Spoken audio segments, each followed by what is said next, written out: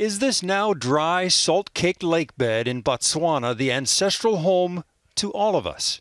Not far away are wetlands that bear some resemblance to what existed tens of thousands of years ago when early humans began to flourish in this part of the world. Vanessa Hayes of the University of Sydney and other researchers have tested DNA from people descended in this region of southern Africa.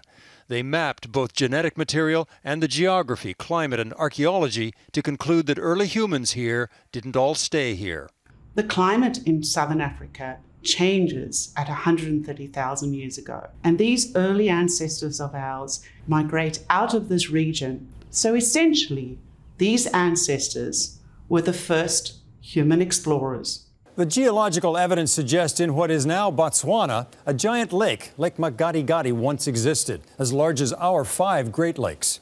About 200,000 years ago, early humans lived there for 70,000 years the Earth's orbit and climate changed. The lake began to break up into massive wetlands. Lush green corridors were created to the northeast and southwest, and early migration patterns began. To the northeast, farming was developed. To the southwest, coastal foragers. Humans were on the move. It is the migration by the ancestors of the people living in this region today who are linked to the more than 7 billion genetically diverse people that now exist all over the world. Other researchers are dubious. They point to fossils found in Morocco of the earliest Homo sapiens dating further back 300,000 years. And some critics say the study in one region cannot fully address the complexity of human development and migration.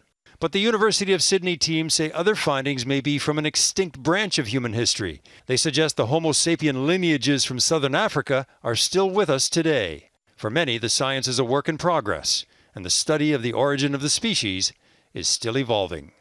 Eric Sorensen, Global News, Toronto.